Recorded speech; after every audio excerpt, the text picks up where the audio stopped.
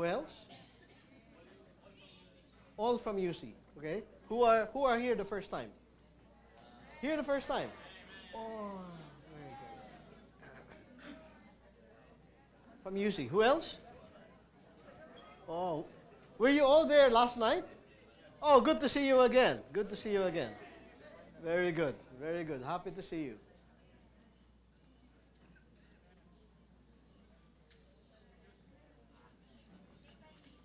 From? Tiffany. Zamboanga. Oh, from Zamboanga, brother. Amen. Good. Thank you. Thank you. Thank you. Thank you. Thank you. Okay. At least we understand we have some nuance in our midst. this topic was taken from uh, the message entitled Redeeming the Time. Uh, this is uh, one of the lessons we take up in the middle age training. So this is a portion of that. Uh, so for the middle aged ones, if you want to hear the complete message, which will take about one and a half hour, you have to join mid- middle age training module one. Right? So for those who have been to MAT module one, this is a short review, and this is the capsule capsulized portion of it, which should cater to everybody redeeming the time. Can you really recover the time that is lost? Is that really possible? You know? If, if you would like to imagine time, you know, it's, I always use this illustration. It's like this. You have two ends. When you say time, there must be a definite start, there must be a definite finish. Right? Of which the two ends are eternity. Eternity in the past, eternity in the future, and this is a bridge of time. And if I open this uh, cap, time starts to flow. And one day it will just run out. Can you imagine? All right. Let, let, let, let's use our imagination for a while. So if we want to understand time, more so how to redeem the time,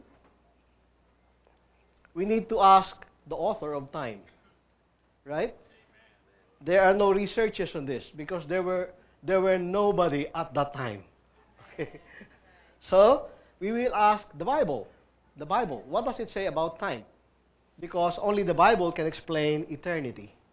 Okay? Next. So, in the beginning, that's how the Bible started.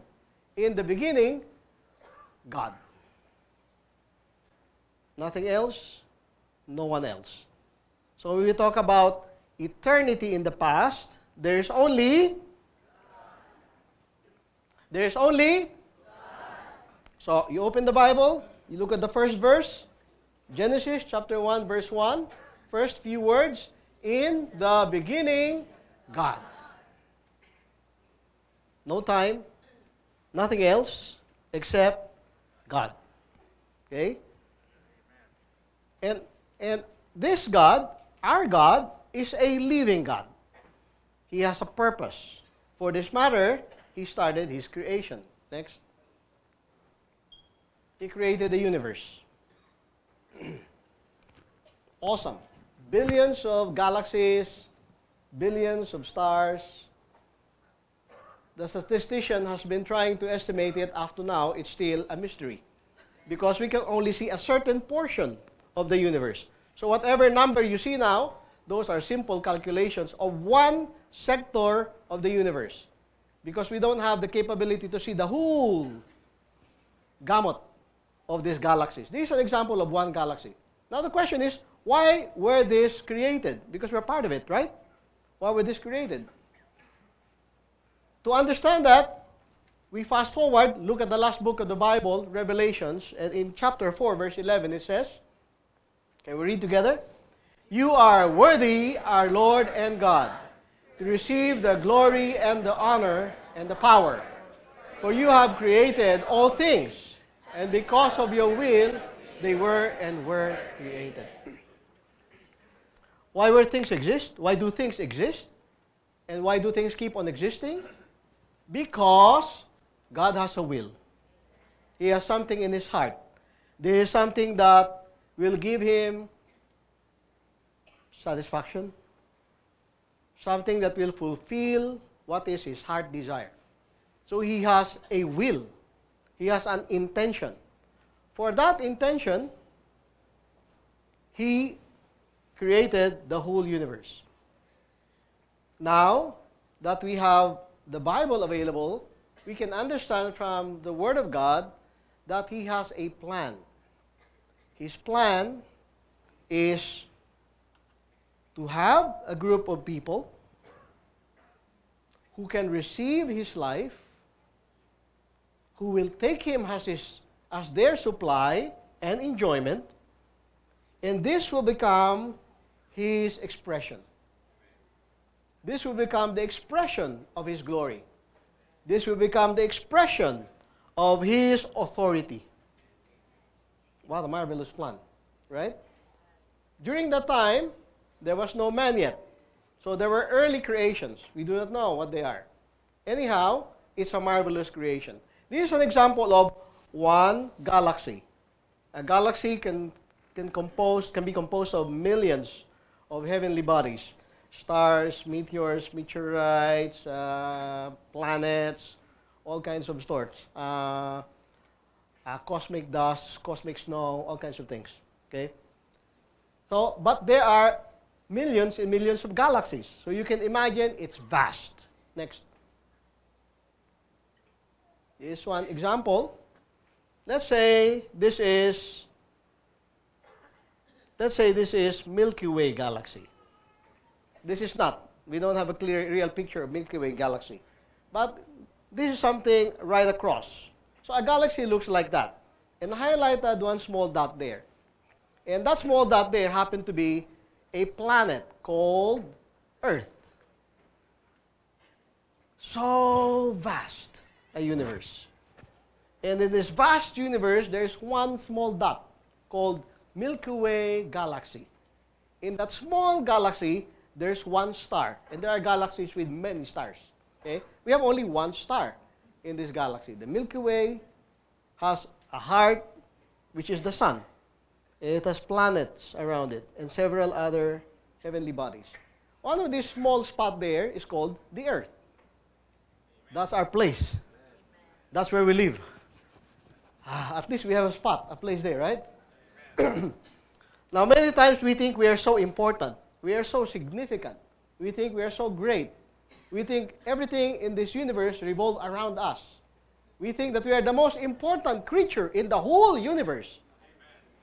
Now, can you imagine where you are there? Or where am I there? Small spot. So insignificant. Oh, the pride of man. the first thing we need to understand tonight give up your pride. we are not so great. we are too small, too insignificant. Anyway, let's focus on that small dot there. I've already highlighted that, but let's focus on it. Next. My, uh, my assistant is getting too engrossed. So.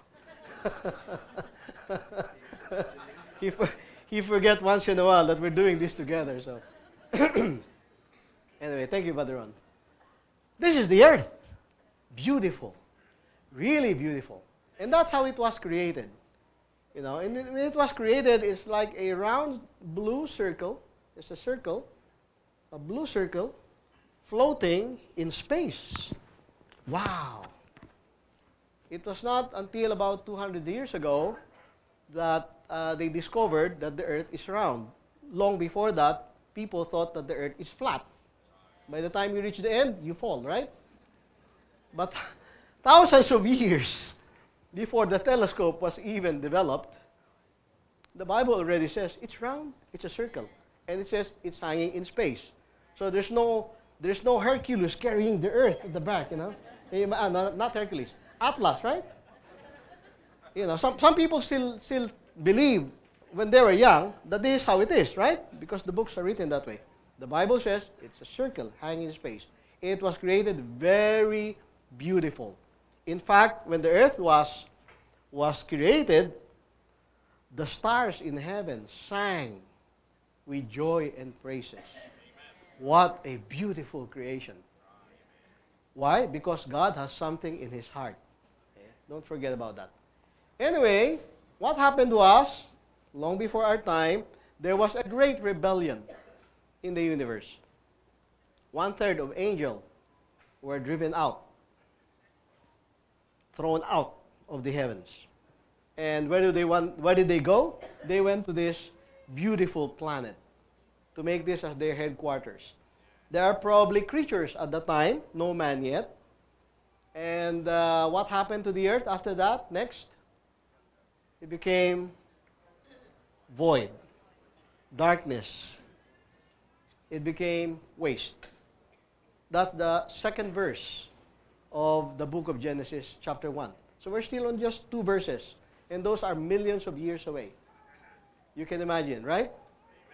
And so, God has to proceed with the next level of creation.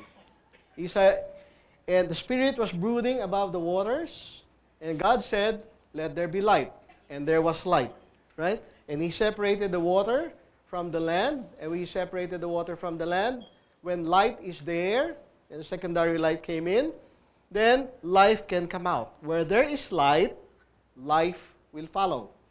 So, now there are creatures on the sea, there are creatures in the air, there are creatures on the ground because, because vegetation started again, you know. Life started coming back, and that was the best time to create man. Okay? So, God restored practically the earth.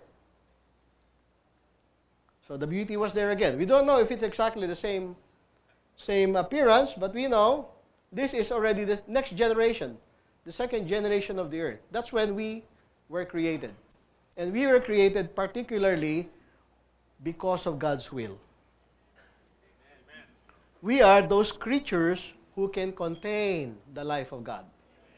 Because we have three parts. In the outside, we have the body. Inside, we have our soul, mind, emotion, and will. And we have the spirit. To those who are in UC last night, remember the glass that was empty? Our spirit is like that. That's intended to be filled up with the life of God. When we can receive this life, we will be the vessels to contain the life of God, the supply of His grace, and the expression of His nature. Next. Huh? One day, this will all disappear. If you fast forward again, the book of Revelation, there will be a last rebellion. Okay, that will be several thousands of years. At the end of, of the Bible, we can see that there will be a great rebellion. And after the great rebellion, the old earth and the old heaven that you see now will all be destroyed by fire. That will be judged. Huh? Yes. So all your dreams that has to do with this earth, all your hopes that you're going to this heaven, will be destroyed with fire. Wow that our destiny? No, no, no, no. God has a better plan. He's going to restore everything. He's going to restore everything. We don't know how it would look like. We only know one thing that by that time, the great city of God, the mingling of God with His people, will come down out of the new heaven into the new earth the New Jerusalem will be the expression of the oneness of God and man. We do not know how it looks like. So do not use your imagination. It's not a material city. It's a mystical, divine city. So our mind is not good enough to understand it. We only know one thing. Because of God's will, He created all things. And because of His will, all these things will come to pass. And at the end of it, only God's will will prevail. Okay? Let's continue. While we have this earth, we need to redeem the time. While we are in time, we're still in time, right? In the breach of time, we need to redeem the time. Next. So, how do we redeem the time?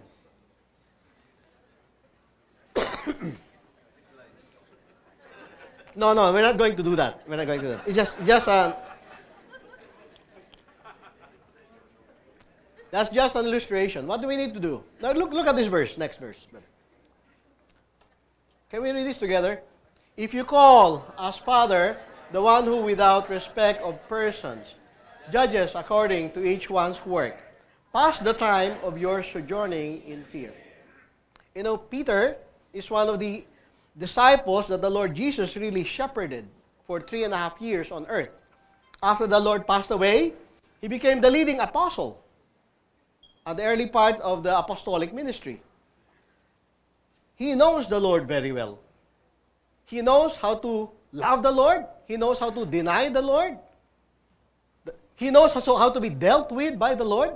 He knows how to be disciplined by the Lord. And this is his lesson that he wants to pass to us. He said, If you call us Father, the one who without respect of person judges, in short, do you know that God is the ultimate judge? If you know that, pass the time of your sojourning in fear. What is sojourning? Sojourning is a travel to go from this place to this place. Sojourning, it's a travel. So we are travelers in time. That's what he's saying. We are travelers in time, and we should pass the time of our sojourning in fear. Fear. Why? Because whatever it is, at a certain point in time, we will meet Him who created us. And He is a judge with no favoritism. He has no favorite. He respects no person. He will judge us according to His purpose. If we only know that, you will realize that our life is like that person. In fact, in practical life, I remember already what what my auntie would always remind us. He said, Be careful when you walk in your life because it takes only one mistake. And that can be the end of you. It takes only one mistake. Life is so fragile, like a glass. You may not intend it, one mistake, you can break it. He said, Be careful in what you do. Uh, I remember that for many, many years. And even once in a while, when I'm driving too fast, that reminds me, oops, life is so fragile. Take care of it. Pass the time of your sojourning in fear. Now, redeeming the time means we're not the only one crossing this bridge of time. There are others. And we need to learn at least two important principles. One is spiritual sensitivity, and then spiritual training. Why? Because the world will not teach us about these things. The world does not understand God's will. The world does not understand time. The world will just try to trap you inside this travail. So, to develop spiritual sensitivity, to develop spiritual training, we have to be open. We have to be open. With what? Okay. Let's understand, first of all, the principles of time. Next. Okay. In the Bible, there's such thing as the appointed time. The appointed time. In Genesis 18.14, it says, Is anything too hard for the Lord? At the time appointed, I will return unto thee according to the time of life. This is Jehovah speaking with Abraham. You know, Abraham has no child, and God called him out to find the city that is not built by man's hand. And he believed. Well, at the start, hesitatingly, eventually, he followed God. But he has no child, so he said, But what, what do I do now? I don't even have a son. If I follow you, what happens next? And God promised him a son. And he waited for it for many years. For many years. But to assure him, during one of the visitations, God reminded him, Is anything too hard for the Lord? At the appointed time, I will return unto thee according to the time of life. So there's a, an appointed time Many times we cannot wait. Remind yourself, there is an appointed time. At the right time, when Abraham was 100 years old, too old to have a son, and his wife was 99 years old, too old to have a child, to have a baby, she bore a child, a son unto Abraham by the name of Isaac. At the appointed time. Impossible to man, possible with God. At the appointed time. In Exodus 9:5, and the Lord appointed a set time, saying, Tomorrow the Lord shall do this thing in the land. If you look at Exodus, this is a time when the people of God, Israel, was under the bondage in Egypt, under Pharaoh. and Moses was sent to take them out of Egypt, to send them to the good land. But Pharaoh's heart was hardened. He would not let them go. So on the fifth plague, on the fifth plague, uh, that will be the death of all cattle that belongs to the Egyptians. Moses sent this message to Pharaoh. Now what what struck me when I was reading this is, and the Lord appointed a set time. Okay, there is a set time. Okay, saying, tomorrow the Lord shall do this thing in the land. What caught my eye is the word tomorrow. God wants to do something. He told Moses, Moses, you go there, you tell Pharaoh, this is what's going to happen, It's going to happen tomorrow. You know? What I cannot imagine is probably, okay, Moses was here trying to tell Pharaoh the same thing. But Pharaoh, I was imagining, should have asked, well, if God is going to do that, why not now? Why tomorrow? What do you think is the answer? At his appointed time. why tomorrow? Because God wants it tomorrow. you want it now or next week? No, no. God wants it tomorrow. It's going to happen tomorrow. The following day, all Egyptian cattle dead. He wants it, it happens. He has an appointed time. Job 7:1 Is there not an appointed time to man on earth? Do you understand what it means? There is an appointed time for all of us. We have a definite start on earth, each one of us, and we have a definite finish on earth. He appoints the time. It is not our choice. I almost forgot about this verse until, you know, last December while we were on a trip to visit the churches in Gulf Cooperation Council region. We were crossing from Dubai to Abu Dhabi at the time.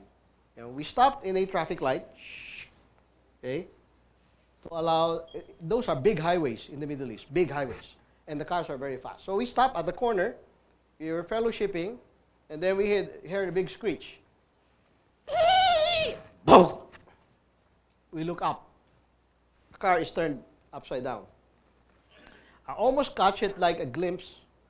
There were, there were young men crossing the street on this side, and the car came from that side. Lost control, in a split second, one man dead. The light turned on. We move on. But we had the shock of our lifetime. We said, Did you see that? Did you see that? We were on the highway, so we cannot stop. There were a lot of people already. Okay. What's the point? It reminded me life is so fragile. It takes only That young man, I can imagine, have no clue what happened. He was just there crossing the street. It was his right of way, a green light for him. There was a turn. All of a sudden, a car out of control. All of a sudden, everything black. That's life. That is life. That's the life of man. It's not a life, it's not the kind of life you can hang on and trust. You need to receive a life that does not pass away with that. You need the eternal life of God. And the only way to receive it is to receive the life giving Spirit of God. You receive it when you call on the name of the Lord Jesus. Okay, let's proceed. A time for everything. Can we read it together? For everything there is a season, and a time for every purpose under heaven. Next, I said in my heart, God will judge the righteous and the wicked. For there is time. Every there is time. There is for everything there is a season. Ecclesiastes was written by the wealthiest king. One economist estimated that even at the present time, if you would assess the property and the kingdom of King Solomon, he would still be the wealthiest person that walked on earth. Not Bill Gates. No. He's wealthy, but uh, Solomon's wealth is an entire kingdom of gold and silver and precious materials. Anyway, that's not the point. After he lived his life to the fullest, this his conclusion was this life is vanity of vanities. Everything under the sun is vanities. You're chasing after the wind. You're chasing after a bubble. By the time you touch it, gone. Okay? So, he concluded also in 3.1, For everything there is a season and a time for every purpose under heaven. And there may seem to be a lot of injustice happening. That's why people question a lot, how can these things happen? But actually, in the end of it, there is again an ultimate judge who will balance everything. Next. Redeeming the time. Oh, it's in the Bible. Ephesians 5.16 says, redeeming the time because the days are evil. Therefore, do not be foolish, but understand what the will of the Lord is. Next, walk in wisdom towards those who are without, redeeming the time. Oh, there's such thing as redeeming the time in the Bible. Yes, there is. Now let's understand what it says. Next.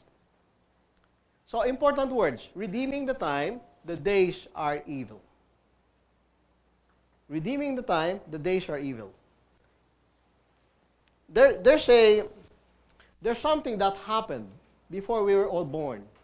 And that that is that was man fell to sin. Our forefathers were born already in sin. And so are we. So we were born in sin.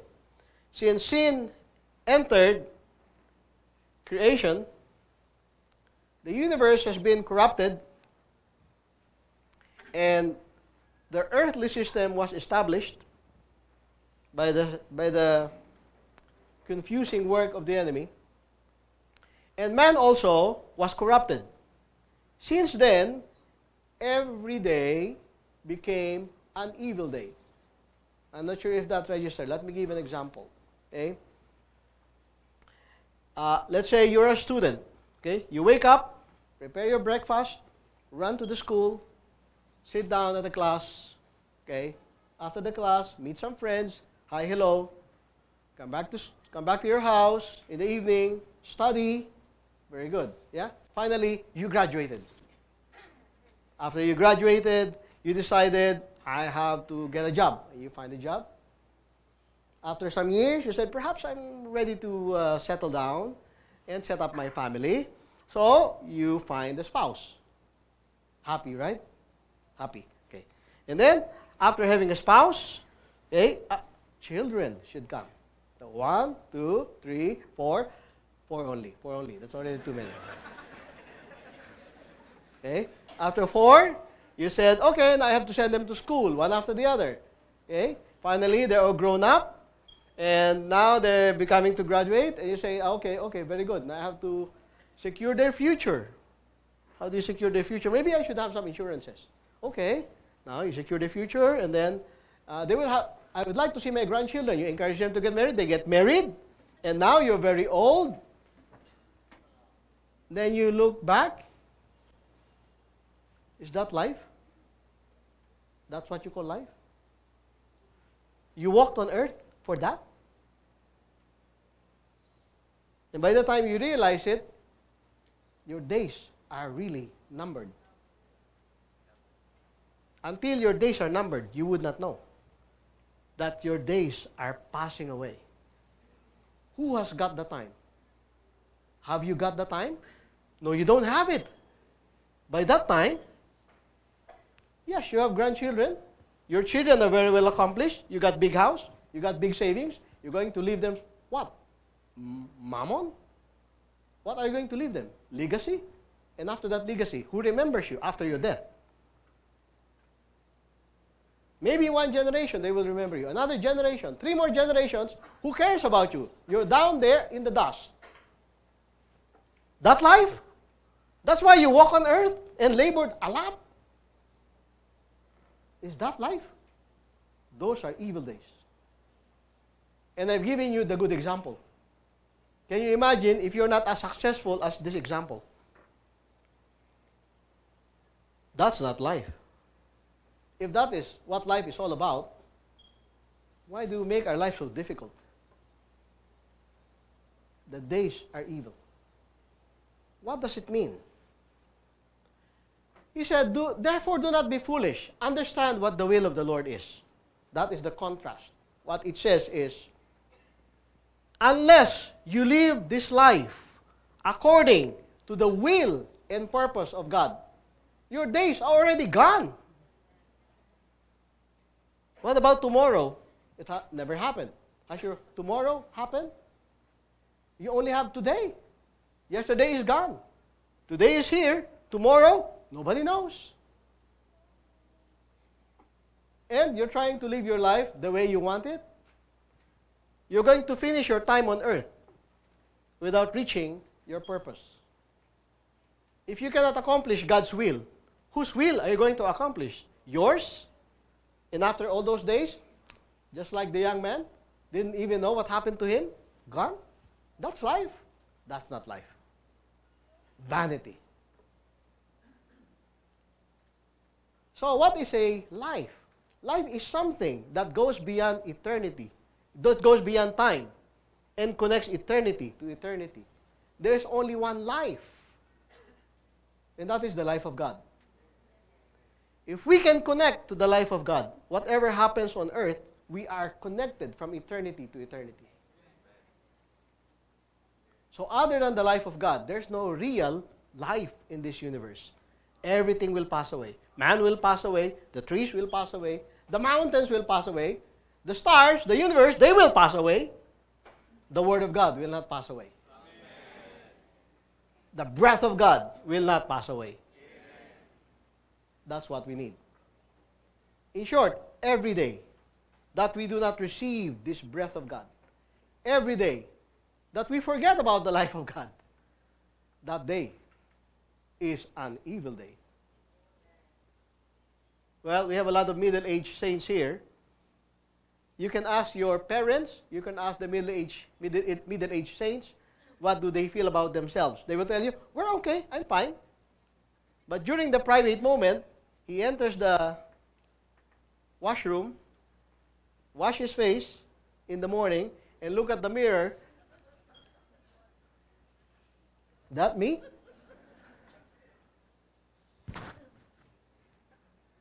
That me? Where's the beauty that was there? Where's the glow? Where's the strength? It's dying every day. Who has got your time? If the Lord has not gotten your time, you have lost it. Let's move on. Oh, sorry. Can we, just can we can just come back to that? Okay. now, the time here, we need to understand, in Greek word, there are two references to time. One is chronos, and the other one is kairos. When you say chronos, it means 1 p.m., 2 p.m., 3 in the morning, 7 o'clock time, right? The time that we know. But another word for, uh, for time is kairos. Kairos can be also translated as chance or opportunity. Okay? Kairos, opportunity. Chronos, time. But in English, both of them are, are translated as time.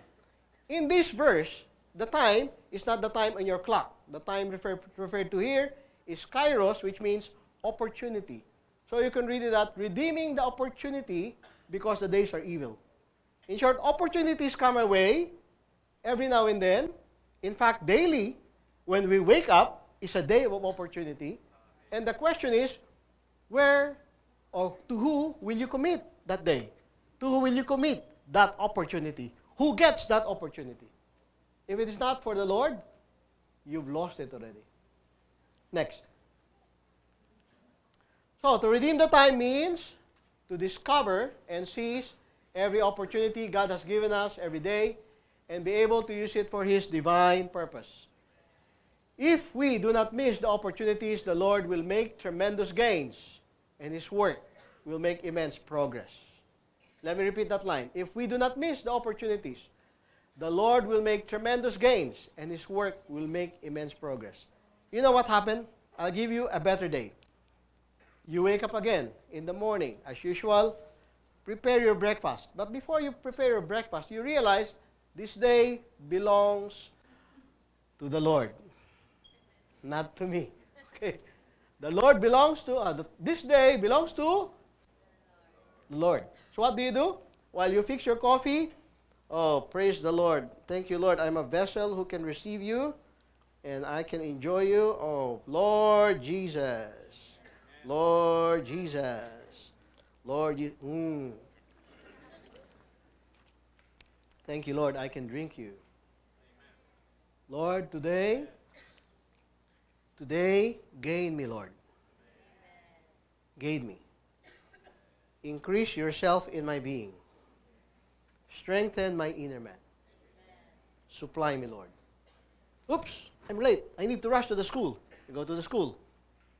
Okay? and in the jeepney, oh, heavy traffic. Ah, I'll be late. And the traffic was heavy. And quietly, you were there in the corner. Lord Jesus, I am late. but I still love you. So you come to school smiling. You are late. What can you do? You sat down, and your, your teacher noticed you. You are late again. Uh, I'm, I'm sorry, sir. I'm sorry. I'm sorry. Uh, sorry. Thank you, Lord. I needed that. okay, here's your assignment. You list it down. Okay. By the time you're there, noontime, you start praying, Lord, thank you. That was a tough morning, but you are my strength. You are my supply. You are still my joy. And the day goes on until the evening. And in the evening, before you go to bed, you were there speaking to the Lord. Lord, my day is not exactly victorious, but you are my victory. I enjoyed you today. Thank you so much. Please wake me up early tomorrow so I won't be late. Lord Jesus, I love you. That day, you have gained the Lord. And that day was gained by the Lord. That is redeeming the time. Doable? Don't forget, your day belongs to Him. And then every opportunity that will come your way, you will discover that it is an opportunity for the Lord to work Himself into your being. What about the businessman? What about the housewives? You have your own portion. But whatever you're doing, whatever you're doing, set your mind, set your mind on the things which are above. Amen. Not on the things which are on the earth. Let's move on. According to Watchman Nee, opportunity is like a pebble thrown in the water that produces ripples. You know? Ripples, right? The circles, the circles keep expanding until the ripples touch the shore. So about 100 years ago, this young man met the Lord. I mean, received the Lord. Just like you young people. And at that time, he realized his life is for the Lord. And the Lord did use him as a vessel, a channel of great mercies to reveal up to now what we are enjoying to understand God's purpose, God's economy, and God's way of carrying out His economy. Uh, Watchman Nee, at that time, you know, is like a pebble himself. Probably he didn't realize it. He said it, he didn't realize it, that he was also like a pebble. Whoop, thrown in the pond. He died in a prison camp of uh, the communists under persecution for his faith. Almost, almost forgotten, except by the people who have read his writing, heard him speak, and understood and received the Lord, and became testimonies of the church. And this faith spread out. This faith spread out. He has received it, he has passed it on, and on, and on, and it crossed the ocean. We have received the same gospel. We have received the same faith. It has spread across the earth. Next. He said, Today the problem is not that the Lord does not give us opportunities. Don't think you don't have opportunities. We have a lot. But that we miss the opportunities that He gives us. Time is constant, but opportunities are not. Time is continuous, but opportunities come and go. Opportunities do not wait for us. Once time moves on, opportunity is gone. So time passes by. You cannot stop it by the minute, by the seconds. But opportunity may come and go. So it matters that you are prepared, you are ready. You are ready to grab it when it happens. Next. Seize every opportunity. Uh, some examples. You know, 2,000 years ago, there was this wise men. They were studying the signs, the heavens, the stars, and they knew at a certain point in time, a certain star will appear during their lifetime. And it did appear. They saw it. So these men from the east crossed the desert, crossed many places, perhaps many weeks, perhaps many months, because they were following that star. They said, We need to reach the point of that star, because according to the prophecies, a king shall be born in Israel. And they'd like to see the baby. And they were there. They were faithful enough. They followed the star.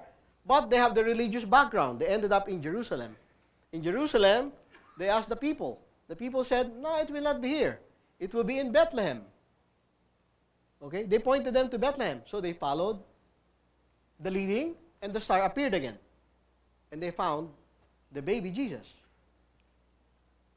They were among the first to see the King of Israel, God who became man. But in Jerusalem, there were people. They know. But they were not watching for the opportunity. They just know, oh, he's going to be born in Bethlehem. They know, but they did not go to Bethlehem. So, if you want if you want to be able to grab the opportunity, you must be watchful. To know is not enough. You need to seek after it. Last kiss. Okay? Here's a husband. Here's a husband. That morning, he has to fix his own coffee. The wife doesn't want to fix his coffee that morning. She feels very bad because last night they had some unpleasant talk. And the husband, uh, fixing some coffee, after that, kiss his wife. Uh, bye, honey. One more. So he left. Few minutes, 20, 25 minutes, the phone rang. Uh, this is uh, Mrs. Smith. Can you uh, drop by? Um, something happened to your husband. Uh, we're in this hospital, blah, blah, blah. So he proceeded to the hospital. She, she proceeded to the hospital. Husband is dead. Met a car accident, the husband is dead. and she was crying. Oh, if I only knew, you know, that that was the last kiss.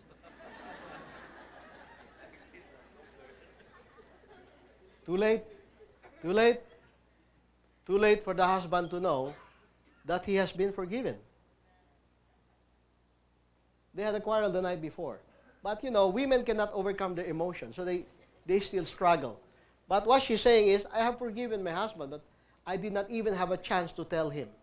I didn't even have a chance to tell him I love him. I didn't have a chance to tell him I really care. And I understand our misunderstanding last night, but I have forgiven you. Opportunities. If there's a person you have not forgiven yet, better forgive. You do not hold your time, and you do not know the person's time. Settle while you can settle. Okay? If you have not said, I love you to your parents, not to your boyfriend, forget about that. to your parents, do that. They are short of time, much shorter than what you can imagine. Batchoy, I'll jump some examples, right? Batchoy. We have a sister. We have a sister uh, who serves in our locality. After the first module of middle age training, a lot of saints pick up the burden to revive the home meetings. So we were having a home meeting in one of the contacts, and she would always pass by the gate of that village. And in the gate of that village, she noticed a small cafeteria, a carinderia, uh, and they sell batchoy. She's an Ilongga, you know bachoy, right? Soup. Ilongga soup. So she said, I haven't tasted it for a long time. I'd like to try it. So one afternoon, she dropped by after home meeting. And then she sat down and prayed. Okay? By the time she looked up to eat her batchoy, a voice from the back asked her, uh, Excuse me, ma'am, are you a Christian? She said, uh, Yes. She said, Oh. And uh, the lady behind her, who owns that small shop, said, You know, uh, where do you meet? I have been praying for the last two months. We don't have a meeting. We got stumbled in the group where we came from, and all the family stopped. Can, can I join you? I've been praying for this. Okay? and then she said, Okay, by all means. So, the following Lord's Day, we fetched them, whole family. Wife, husband, one young son, young daughter, and three little kids. Two more sons and one. So, in short, we have seven people, one pickup. And then they started testifying. She said, You know, I, I've been praying for the last two months. Lord, where do you lead us now? We got stumbled in the denomination, and, uh, and we, cannot, we cannot live a life without a meeting. Please show us. Show us the way. And she was practically meet, praying in that afternoon when she saw this sister praying before the meal. Now, this family is still with us. And for the kids, that we just realized maybe we should start a children's meeting. Now we have 17 in that house. They invited their friends. We have a small meeting there for the children. And every Friday evening, we have a home meeting for the family. Everyone sits in the meeting, enjoy the Lord. less than a minute opportunity. What if this sister did not pray and she just gobbled her batchoy? that could have been a lost opportunity. She did not allow her opportunity to pass by. She prayed, even if she's very excited to eat this batchoy. That caused the salvation of a household. Grab the opportunity. Know it when it's there. Okay, we move on. We move on. More stories, but we move on. Next. Now, here's the question. As sojourners on this earth, how can we seize the opportunities and redeem the time? You cannot be a backpacker without a backpack. You know what it means? You cannot go on a journey with nothing behind you. The moment you run out of water, the moment you run out of food, you want to go home. There goes your journey. Okay? A backpacker knows the bag can sustain him for as long as he wants to travel. What do we, know, what do we need to put in our backpack? Next. First, repent. Can we read this together now? Repent and confess for having missed so much opportunities. How old are you now? How much opportunities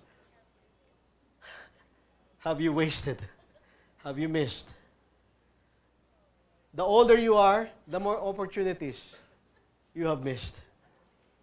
The first thing to do, just tell the Lord, be honest, be honest with the Lord, and just say, tell Him, Lord, um, Lord, forgive me. When I was a student, I was always late. Now I'm old, I'm still late. I miss so much opportunities, Lord. By the time I notice it, it's already gone. Lord, help me, forgive me. Really confess, really confess. Lord, I'm really sorry. I miss so much opportunities. I almost cannot understand what I did with my life. Lord, give me another chance. Next. Psalms 20, 19, 12 says, Teach us then to number our days, that we may gain a heart of wisdom. Without numbering our days, again, I tell you, you thought you have eternity before you. Well, your heart is seeking for opportunity. But that opportunity, seeking for eternity. But that eternity is not something outward. It's not about your tomorrow. It's about your today. Your today need to be connected to this opportunity, to this eternity. And this eternity is in Christ. So, if you want to receive this eternity, simply ask the Lord, Lord, Lord, I need you. Lord, I've lost so much opportunity. I want to recover my time. Lord, I give myself to you. Lord Jesus, I receive you. Lord Jesus. You do not know how many days you, do, you still have on earth. You only know one thing that wherever is there has to belong to the Lord. Next. So, second, together, yourself to love the Lord, that He might train your spiritual senses. Next. What does it mean? 1 Corinthians 9 2 9 to 10 says, But as it is written, things which eye has not seen, and ear has not heard, and which have not come up in man's heart, things which God has prepared for those who love him. But to us, God has revealed them through the Spirit, for the Spirit searches all things, even the depths of God. In short, what is he saying? This is saying, God has something in store for you. He wants to tell it to you. He wants to show it to you. He wants to reveal this to you. The problem is, until you love Him, you will not understand it. This is reserved for those who love Him. That's why we tell Him every time, Lord Jesus, I love you. Even if you say, Lord, I'm not sure if I really love you. Maybe I love you so little. It's still enough reason to tell the Lord, Lord, so little, but I love you. I will tell you, the more you are honest between Him and yourself, that love of God will grow in you. Amen. Why? Because that love did not come from you. Amen. It came from Him. Amen. He just gave it to you. And the more you know Him, the more you love Him. The more you look up Him, the more you behold Him, the more you love Him. The more you run after Him, the more lovely He becomes. He is the loveliest person in the whole universe. You're not looking for anyone else. Fairest of 10,000. You're not looking for anybody else. You're looking for the Lord Jesus. Never mind the Valentine's Day. Brothers, leave that to the world. We have only one love. Our love is the Lord Jesus.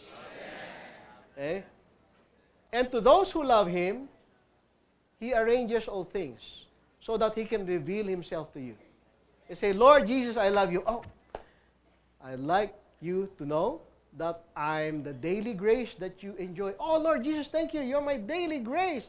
Praise the Lord. I love you, Lord. Oh, you love me? Now, I'm, let me reveal to you. Come to my word.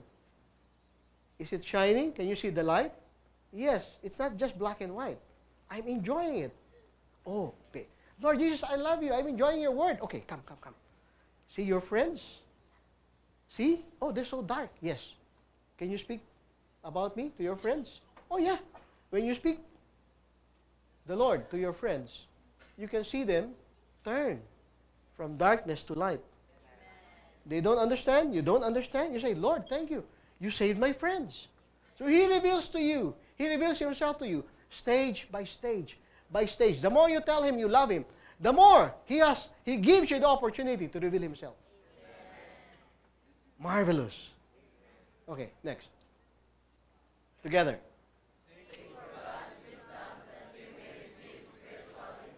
But how do we get God's wisdom? Next. Proverbs 2 6. For Jehovah gives wisdom. From his mouth come knowledge and understanding. The fear of Jehovah is the instruction of wisdom, and humility goes before honor. In short,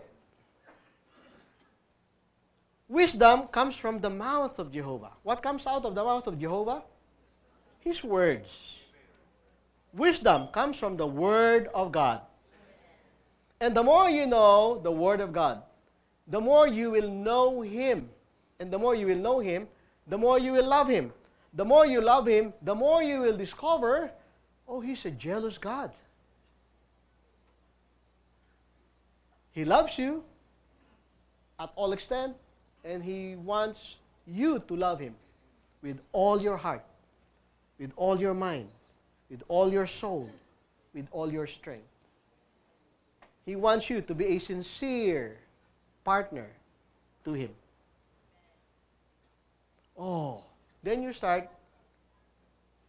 feeling a divine fear. Not because you're scared, but because you want to keep this relationship. It's so delicate, it's so sweet. So, you start having a divine fear. Not for anything else, but out of deep understanding of who God is. Next. Together now. Take the commission, speak the gospel. Okay, next. John 15, 16 says, You did not choose me. I chose you. And I said to you that you should go forth and bear fruit, and that your fruit should remain. Oh, in our school, it's very difficult to speak the gospel. Really? Yeah, my classmates doesn't want to listen. Really? Oh, yeah, yeah, yeah. I'm, I'm, I'm a teacher. My students, no, I cannot do that. I won't do that. Very difficult. They don't listen to me. Oh, my neighbors, oh, they all close the door. Oh, my friends, I invited them, they laugh at me. Oh, they, they don't like to hear the gospel. Okay. Read the verse again. You did not choose me, but I chose you. Chose you. Chose you. He chose you. You did not choose him, he chose you. And then what did he do? He set you. Okay, now, now that I chose you, I put you into that school. And that will be your classmates, right? Now, you bear fruit. And you keep on complaining, I cannot do that. That's the place for you. What about my friends? That's why I put you, I put them around you. So that you can testify for me. Every place is difficult as long as you don't like it. Every person is closed as long as you don't try. But you know why you have this kind of people around you? You're in exactly the same space, the same place, the right place, the right time, the right people around you. Because He has set you.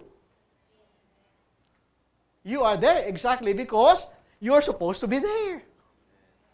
They are your friends because they're supposed to be your friends. You know why? Because in that kind of environment, you have to bear much fruit. And that fruit should remain. What about my neighbors? Can you pluck out your house? That's your house, and they're your neighbors. Learn how to deal with them, gain their heart. They're difficult. That's why I put you there. You're the right person. You're at the right time. They're waiting for your gospel. I cannot do that. Now, this is what the Lord said. Next. I cannot do that. I don't know how to speak the gospel. Jesus said to this man. This one, this one was possessed by devil and he drove the demons away. And this happened in Gerasenes region. And Jesus said to him, so when he met him again, Go to your house, to your own people, and report to them what great things the Lord has done for you, and how he has had mercy on you. Testify. Testify. Don't try to convince them. You will not. You cannot convince people. Don't think you can convince people. You may have a lot of words, you may have no words. That doesn't matter. What matters is what have you experienced? How did you enjoy the Lord? Just be honest, just be sincere. Testify. Tell them what happened to you. This man was healed, so he testified. In fact, he testified in Decapolis. Decapolis means a region of 10 cities. Wherever you go, that's where he testified. You know, I was demon possessed. The Lord healed me. You need to meet this Jesus. 10 cities listening to one man. That's a testimony. What did he say? He didn't say, you know, he was born here and he educated that way. he did not convince them. He just told them, this was me and now this is what I am because of this man Jesus. Next. Ah. One day, Matthew 21, the Lord Jesus was walking and he went to a fig tree. You know, there are thousands of varieties of fig tree. But fig tree, fig tree characteristic, and it's common there in Israel, is the, it's supposed to be a flower or a fruit flower. It grows on every place, on the trunk, on the branches, and all year round, there's supposed to be fig fruit. There's a season when there will be plenty, but supposedly all year long, it just grow here and there. Kung alam niyo yung kamyas, parang kamyas. Yeah? It grows in the body. So you just pluck it, and eat it. But when the Lord Jesus come, came to the fig tree, there were no fruits. No fruits. So, he cast it out. He cursed the tree. By the afternoon, when the disciples came back, the tree is already dried up. John 15. There were two cuttings. There are two cuttings. One, when the branch does not bear fruit, he cuts it down. Number two, when it bears fruit, he prunes it so that it will bear more fruit. How was your fruit, brothers, sisters? When was the last time you bear fruit?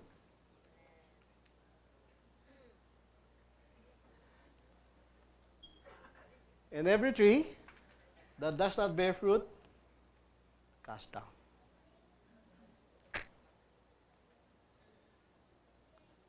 No more tree. No, the tree is still there. hang on, hang on. Tree is still there. Tree is still there. Don't, don't lose your hope. As long as the roots of the trees are still on the ground, the earth is still the riches of Christ. Okay? The, Christ is the good land. You want to remain in the good land?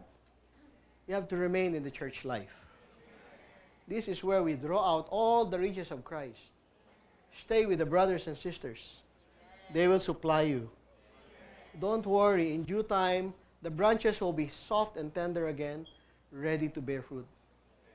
But of course, you have to tell the Lord, I'm sorry. I didn't realize it has been many years. I've lost so many years not bearing fruit. Lord, I want to bear fruit. Make me fresh and tender. I come to you. Make me a fruitful branch. Next. Okay, just a couple of pages now. Next. God's will is mostly in the opportunities He has given us. The more we know God's will, the more we will seize the opportunities. What is God's will? He wants man to contain Him. He wants us to receive Him. He wants Himself to dwell in us. That is His will. Open to Him. Allow Him. Give Him the preeminence. Next. Once God moves, we should move. Rise up and seize the opportunity. Next. Let's summarize now. To seize every opportunity, number one, we need, to, we need spiritual training. Number two, we need to have prayerful life. Three, we need to seek for light in God's Word. Four, we need to be built up with other saints. Five, we need to give ourselves to love the Lord. Six, we need to become heralds of the gospel. We should ask God to preserve each and every opportunity that He gives us. Next. Well, we may think that time is endless like this ocean. Yeah? It's like endless. But actually, that is not our time. Our time is like this. so small. It's flowing, full of life, full of energy. But you know, one day, it will dry up. While you have the time, watch therefore, for you do not know on what day your Lord comes. Next, redeem the time. Why don't we have a short prayer about it? We give ourselves before the Lord. Okay? Lord Jesus, time is not in our hand. Lord, it is yours. Lord, we live on borrowed time. Lord, give us the wisdom how to make this time useful before you. Forgive us for wasting so much time, so much opportunities in our lives to gain you, to acquire you, that you can be increased in us. Lord, we receive you. You are the life giving Spirit. You did not only die for us, you resurrected for us. You are the life giving Spirit, bringing us the eternal life, that we can overcome the evil days. Lord, preserve us. Preserve us under your care. Preserve us under the care of the brothers and sisters. We want to remain in your house. We want to remain under your supply. Preserve us under your grace. We love you, Lord Jesus. Amen. You, Lord. Okay. That's our last page. Thank you. You want to sing again, the chorus at least, before we end? Okay.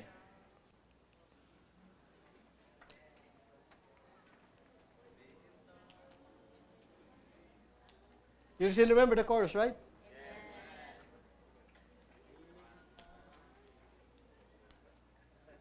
Be in time. Oh, we have a new pianist. Sister there. That's him. What him? What's that? Okay, let's all stand up, sing the chorus. Be in time.